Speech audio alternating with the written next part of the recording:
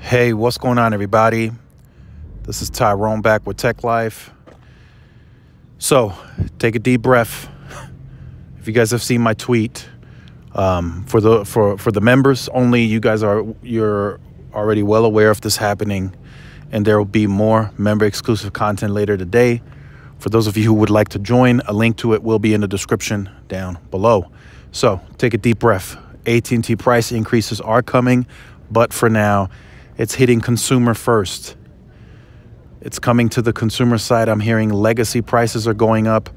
Tablet lines will be going up by $10 starting February 15th. So I don't know the overall price increase as to what else is increasing. I'm still trying to find info on that. Working with some guys. There'll be articles out. Trust me, articles are coming on this. And we'll see what happens then, right? But for now, take a deep breath. Consumer, as of now, is not affected. Could it still happen? Yes. But business, legacy business, tablets, prices are going up. That's already effective starting February 15th. I'm still trying to gather some info, like I said, on um, what all is increasing. I know for a fact it's not just the tablet lines. Some of the other legacy stuff is increasing as well. Fees, and uh, probably the overall pricing of the of the plan as well.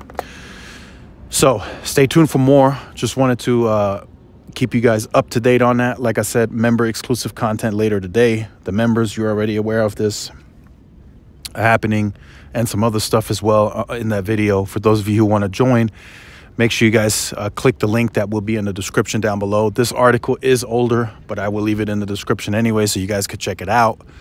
Will Verizon follow? Yeah, you can you can you can take that guess, monkey see, monkey do type of situation. So that'll probably happen.